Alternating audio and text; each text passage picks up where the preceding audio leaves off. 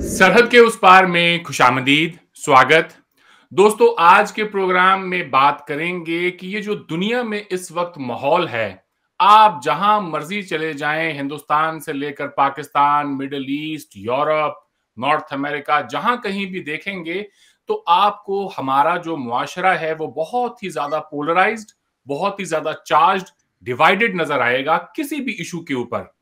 तलखियाँ इस हद तक बढ़ चुकी हैं कि लोग अब एक दूसरे का पॉइंट ऑफ़ व्यू सुनने के लिए भी तैयार नहीं है। या तो आप उनकी बात माने, अगर नहीं मानते हैं तो वो सीधा सीधा आपको दुश्मन समझ बैठते हैं। मैं बात कर रहा हूँ अभी हाल ही में, देखें, दो साल पहले ये जो रशिया यूक्रेन की लड़ाई हुई, उसके बाद में हमने देखा कि किस तरह से लोगों के दरमियान डिबेट्स हुई, कौन किस तरफ़ है। बहुत जल्दी लोग अपना अपना जो है खेमा पकड़ लेते हैं और फिर उसको जो है डिफेंड करने की कोशिश करते रहते हैं। कुछ ऐसा ही ये जो इसराइल और पैलेस्टाइन का इशू है, इसे लेकर हम देख रहे हैं। आप दुनिया के किसी भी काबिल ज़िक्र मुल्क में चले जाएँ, शहर में चले जाएँ, हर जगह पर प्रोटेस्ट हो रहे हैं। और प्रोटेस्ट इसी बात पर हो रहे हैं कि कोई इसराइल के साथ है तो कोई फिलिस्तीन के साथ है। ऐसे में एक सवाल मेरे जहन में आ रहा था कि ये जो ग्लोबलाइजेशन का प्रोजेक्ट है, ये जो दुनिया को करीब लाने की जो हमारी कोशिशें हैं उसका क्या बनेगा? मेरा तो ये ख्याल था कि इंसान एक दूसरे के इतना करीब आ जाएगा कि ये जो मज़हब का, रंग का, मुल्क का जितना भी ये जो फ़र्क हमें दिखाई देता है, ये बस चंद सालों के अंदर ही खत्म हो जाएगा। लेकिन अब ऐसा लगता है कि ग्लोबलाइजेशन के इस ख्वाब को शायद जो है हम कभी भी रियलिटी के अंदर उतरते हुए कभी नहीं देखेंगे। दो साल पहले जब कोरोना वायरस की बात हो रही थी तो बहुत बड़ा इसका एक जो है लोगों ने ये मतलब निकाला कि भाई, अब ये जो दुनिया है, ब्लॉक हो गई है।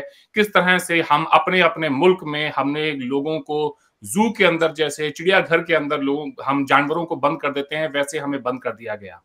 और आज भी हम ये देख रहे हैं कि मज़हब की बुनियाद पर लोग एक दूसरे से लड़ रहे हैं, झगड़ रहे हैं तो ऐसे में हमारा बनेगा क्या?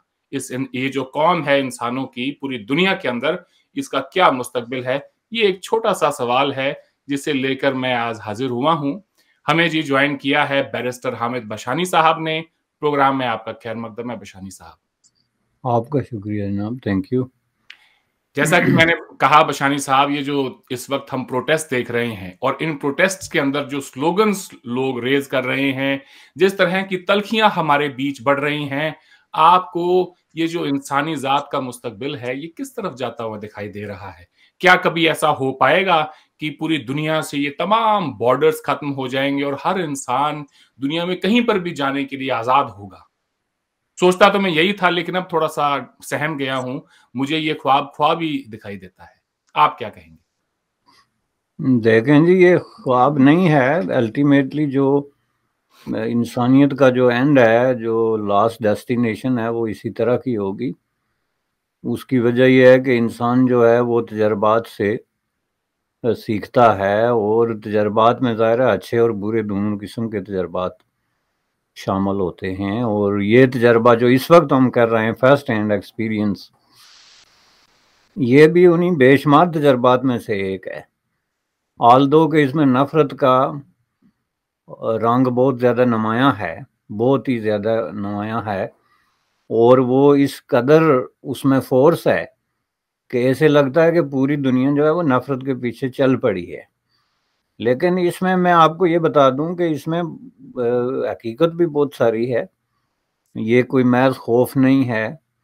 इस पर बहुत सारे सोचने वाले, लिखने पढ़ने वाले इस बात पे अपनी जो है वो कंसर्न शो कर रहे हैं, तशवीश का इजहार कर रहे हैं कि ये जो कुछ इसराइल फलस्तीन में हो रहा है, ये रिपीट होगा दुनिया के दीगर ममालिक में भी, जहाँ जहाँ पे इस तरह के कॉन्फ्लिक्ट्स हैं।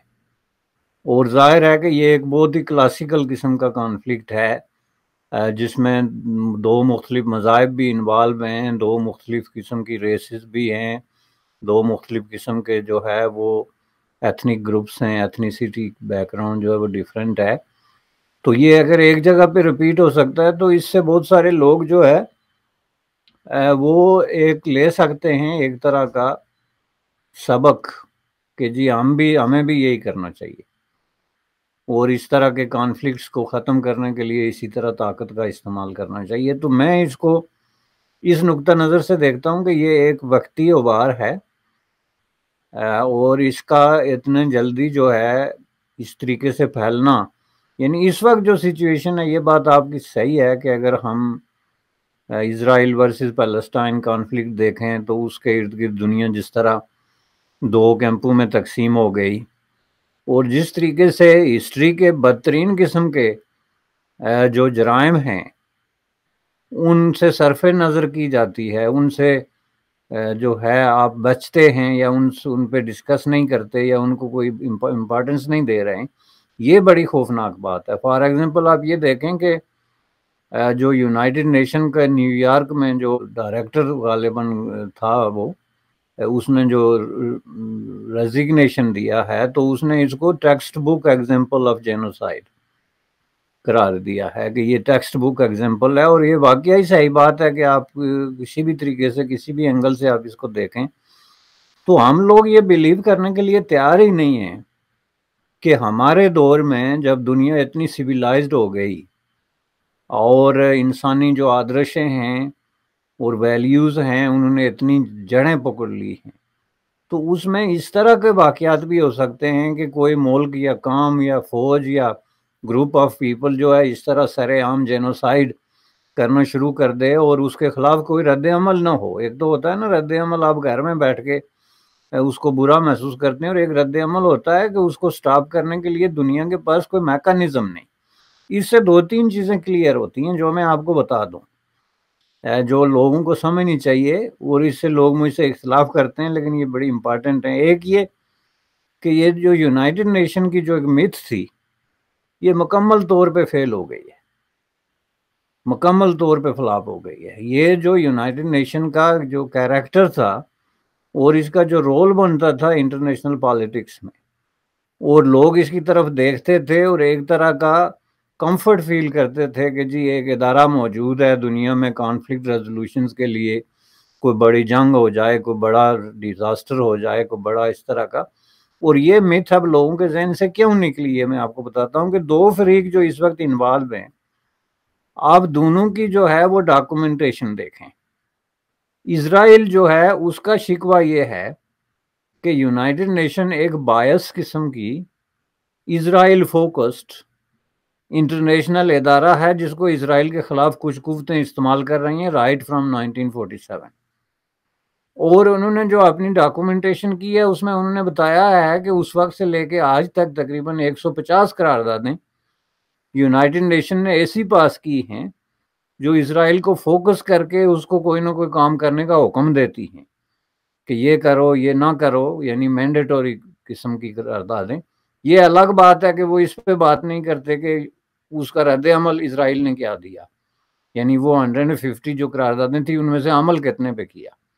लेकिन उन्होंने पूरा अपना डेटा दिया, उसको ब्रेक डाउन करके 1947 से लेके तो जो है वो आज तक, जिसमें कि उनको उन्होंने मुख्तलिफ़ अदवार में तकसीम किया 2014 के बाद कोई साठ के करीब करारदादें आ गई। फ्रॉम 2000 टू 2014 जो है वो तकरीबन पचास, तीस करारदादें आ गई, इस तरह करके तो उन्होंने उसको बताया कि जिससे ये साबित होता है कि ये इदारा कुछ इंटरनेशनल कुवतों के हाथ में एक टूल है, जिसको वो इसराइल के ख़िलाफ़ इस्तेमाल कर रहे हैं।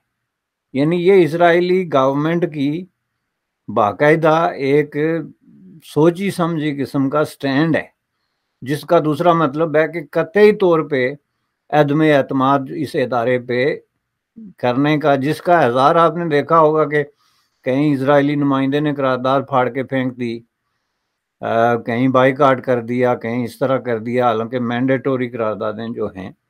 हम और आप जैसे जो पॉलिटिक्स के तालब इलम हैं या हिस्ट्री के, वो तो यही समझते हैं ना कि इस तरह के कॉन्फ्लिक्ट में यूनाइटेड नेशन आती है और वो आके एक करारदाद पास करती है और फ़ौरन वो मुल्क जो है उस पर अमल करता है और कॉन्फ्लिक्ट वहीं पे डाई डाउन हो जाता है या कंट्रोल हो जाता है, लेकिन ये उसके बरक्स है।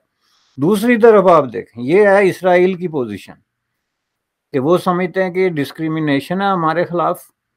ये असाल्ट है on the State of Israel international conspiracy है। और यूनाइटेड नेशन जो है इंतहाई नकामा, जानबदार और बायस किस्म का इदारा है। ये उनकी ऑफिशियल स्टैंडिंग है इस पर उसके जवाब में आप पैलेस्टीनियन साइड को देखें। वो कहते हैं कि दुनिया ने अगर किसी इदारे ने हम पे जुल्म किया तो वो यूनाइटेड नेशन है। कि यूनाइटेड नेशन ने जो है वो आज तक जो है वो साठ के करीब मैंडेटोरी करारदादें पास की फ़लस्तीन के लिए और उस पर अमल नहीं करा सकती और इसराइल ने उनको बिल्कुल कतई तौर पे इनकार कर दिया वक्ता फ़क्ता जब वो करारदादें पास होती रही यूनाइटेड नेशन कुछ नहीं कर सकी। तो दो मुख्तलिफ़ मतारब ग्रुप जो हैं, जिनका कॉन्फ्लिक्ट चल रहा है, दोनों अपने अपने तौर पे किसी दुनिया की बात पे मुतविक नहीं, सवाए एक बात के कि यूनाइटेड नेशन बेकार है। दैट्स इट और उसका रोल एक छोटी सी चैरिटेबल किस्म की ऑर्गेनाइजेशन से ज़्यादा कोई रिकग्नाइज करने के लिए तैयार नहीं। तो ये एक तो आप यूँ कह लें कि ये दुनिया वापस वो दूसरी जंग अजीम के दौर में चली गई, जिसमें के बहुत बड़े दुनिया में तादाद पैदा हो गए थे, जिसके नतीजे में यूनाइटेड नेशन को डेवलप किया गया था। एक तो ये है, जिसका मतलब ये है कि अब कोई यूनाइटेड नेशन किसी भी तरीके से मुनसफाना बुनियादों पे कोई डिसीज़न नहीं कर सकती, चूँकि कोई जो इदारा अपनी करारदादें खुद अपने अंदर बैठ के उनको वीटो करता है तो उसकी हैसियत क्या रह जाती है? अब लोग सवाल ये उठाते हैं कि भाई यूनाइटेड नेशन में के अंदर यूनाइटेड स्टेट ऑफ़ अमेरिका एक हैवी वेट किस्म का मुल्क है, जिसके पास वीटो पावर है सिक्योरिटी काउंसिल का परमानेंट मेंबर है, और यूनाइटेड नेशन का सबसे बड़ा फाइनेंसर है। सोवियत यूनियन क्लैब्स होने के बाद सबसे ज़्यादा पैसे यूनाइटेड नेशन की जो एडमिनिस्ट्रेटिव के लिए, बंदोबस्त के लिए दिए वो यूनाइटेड स्टेट ऑफ़ अमेरिका ने दिए। तो वो मुल्क जो है, उसने आगे एक मुल्क रखा हुआ है इसराइल जिसके बारे में उसने तय किया हुआ है कि इसके खिलाफ को करारदाद आ ही नहीं सकती और जो भी आएगी, हम उसको वीटो करेंगे, यानी ऐलान किया हुआ है। इसको नीग्रो पोर्ट ने जो है डॉक्ट्राइन कहते हैं। जो कि 2000 के लगभग जो नीग्रो पोर्ट ने जो है, वो यूनाइटेड स्टेट ऑफ़ अमेरिका का नुमाइंदा था यूनाइटेड नेशन में, जिसने के बंद कमरे में इंटरनेशनल कम्युनिटी को बता के बताया था कि भाई आज के बाद हमारी पॉलिसी ये है कि forget about any resolution against Israel अगर आपने आज के बाद इसराइल के खिलाफ को करारदाद लानी है, हमने उसको वीटो करना है। लेकिन उसकी एक एक्सेप्शन है।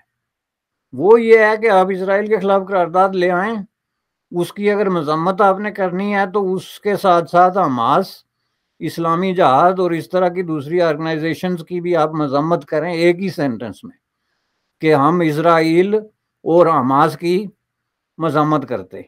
और दूसरा ये कि इनको आप दहशत गर्द इनकी जितनी कार्रवाइयाँ हैं, उसकी मजम्मत करें। जब आप इसराइल के बारे में जेनोसाइड की बात करते हैं या बमिंग की बात करते हैं तो साथ में आप ये कहें कि हम इसी सांस में हमास और इस्लामी जहाद की कार्रवाइयों की भी मजम्मत करते हैं तो वो करारदाद हम जाने देंगे।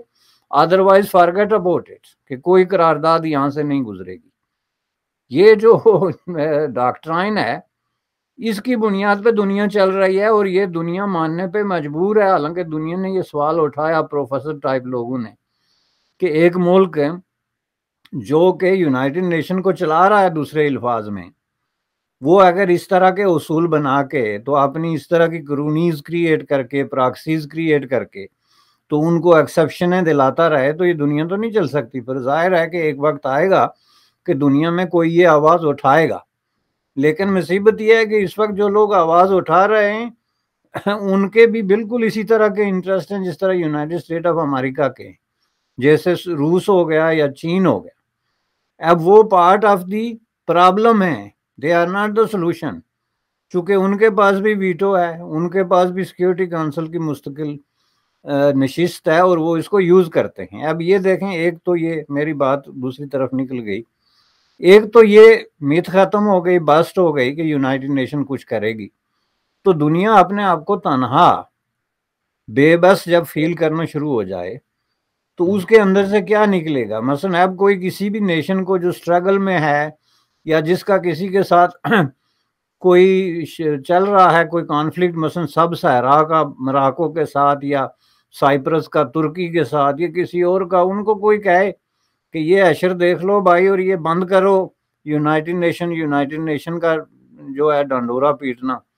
तो वो किस चीज़ की तरफ़ देखेंगे? वो बमों की तरफ़ दहशत गर्दी की तरफ़, खौफनाक हथियारों की तरफ़ और वो ऐसे ख्वाब देखने शुरू हो जाएँगे कि हमारे पास दुनिया का कोई ऐसा खौफनाक तरीन तरीका आए कि हम तबाही और बर्बादी के जो है वो उस पर आ जाएँ ताकि हम अपना डिफेंस कर सकें।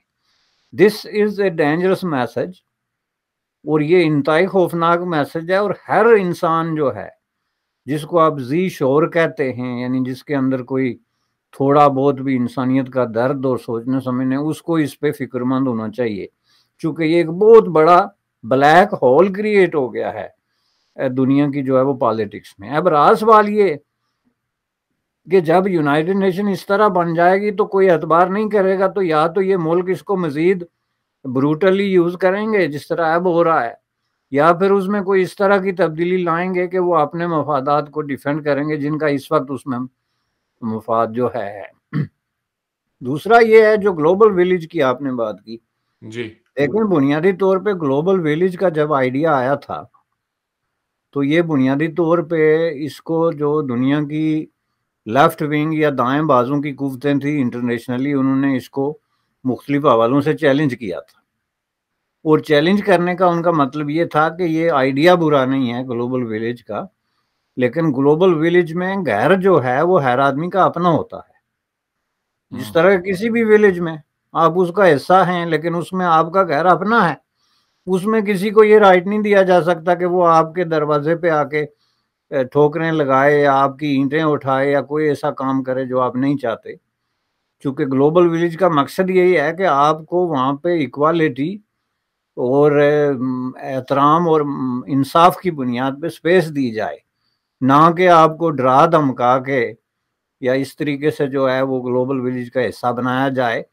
तो वो उसमें इस तरह की चीज़ें देखते थे कि इसमें डिस्क्रिमिनेशन है इसमें बेइंसाफ़ी है, इसमें ताकत का इस्तेमाल हो रहा है, इसमें जो अनफॉर्चुनेट क्लासेस हैं दुनिया में उनको मज़ीद जो है वो तबाही की तरफ़ धकेला जा रहा है, जैसे मज़दूर हैं, किसान हैं, उनसे ज़मीनें काश्तकार हैं, उनकी ज़मीनें ली जा रही हैं या उनकी फ़सलें जो है उनको लेके तो ऐसे कवानीन बनाए जा रहे हैं, जैसे डब्ल्यू टी ओ के अंडर, के जिसमें सब्सिडीज़ के ख़ात्मे करके या कंपटीशन के ख़ात्मे के नाम पे उनको एक कमज़ोर किस्म की पोजीशन में ला के खड़ा किया जा रहा है इंटरनेशनली।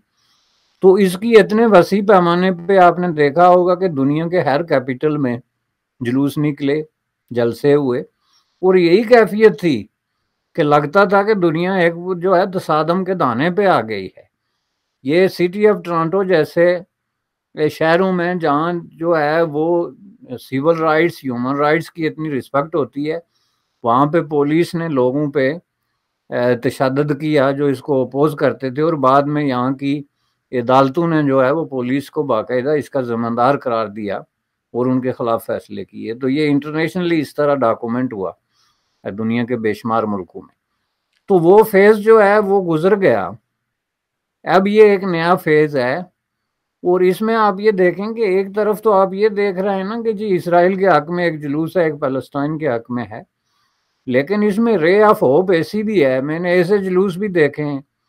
कि मसन ज्यूश अगेंस्ट जेनोसाइड जो है, जुलूस निकलते हैं, जिसमें ज़्यादातर जो है वो यहूदी लोग शामिल हैं, मजहबी जो मोटिवेटेड हैं रिलीजियसली लेकिन वो जेनोसाइड के ख़िलाफ़ हैं।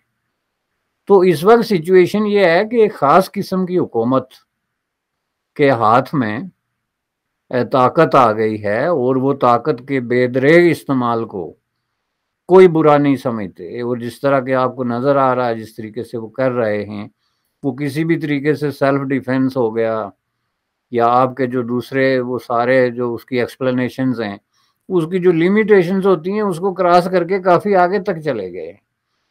तो इसलिए जो है, ये चीज़ जो है, ये काफ़ी तशवीशनाक है। इसका रप्लिका आपको नज़र आएगा ये मैं आपको बता दूँ दुनिया के बाकी मुल्कों में ये बात यहाँ पे ख़त्म होने वाली नहीं।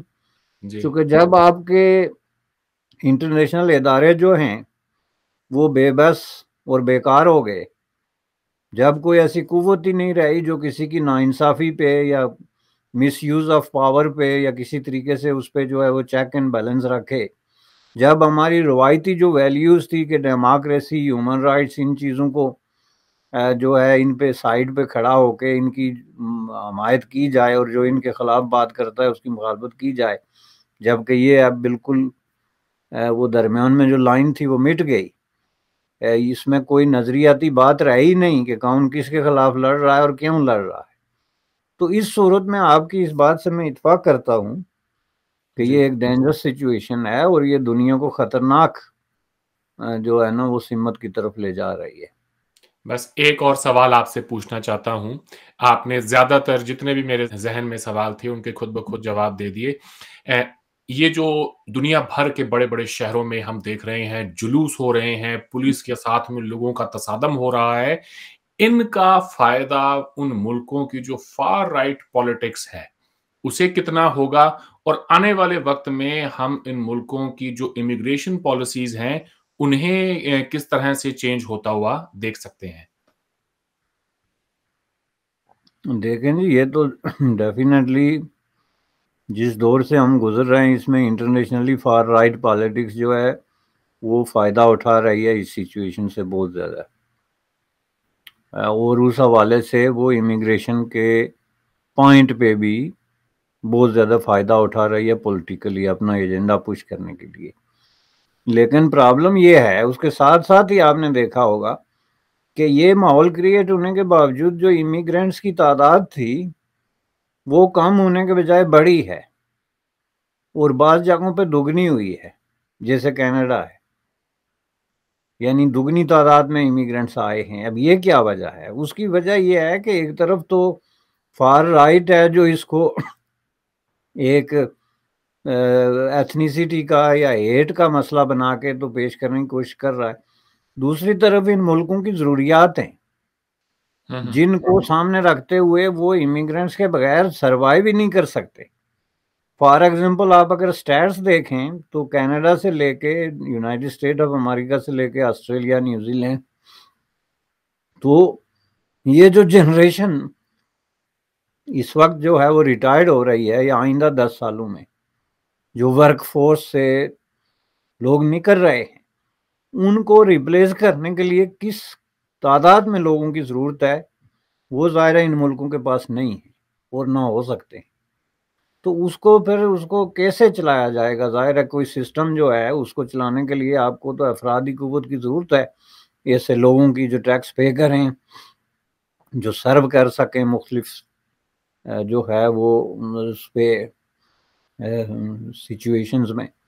तो वो फिर करने के लिए इनको बाहर से लोग मंगवाने पड़ते हैं, जो कि एक बहुत कंपेलिंग किस्म की ज़रूरत है।